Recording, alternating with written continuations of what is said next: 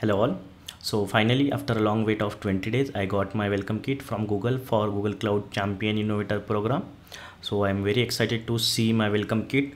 Let me show you. So this is a big box i got from google directly from us and i'm going to unbox it and we'll see what are the different specs provided by google for being a champion innovator. Okay? So let's go and see what are the different specs available in this welcome kit